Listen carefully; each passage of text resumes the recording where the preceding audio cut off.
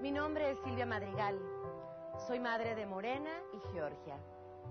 De joven trabajé en la mansión de los Sirenio, pero sufrí una fuerte traición y me fui de México. Ahora regreso convertida en una gran señora de sociedad. Y mi sueño es recuperar a mis hijas, a mi familia, pero sobre todo mi propia vida.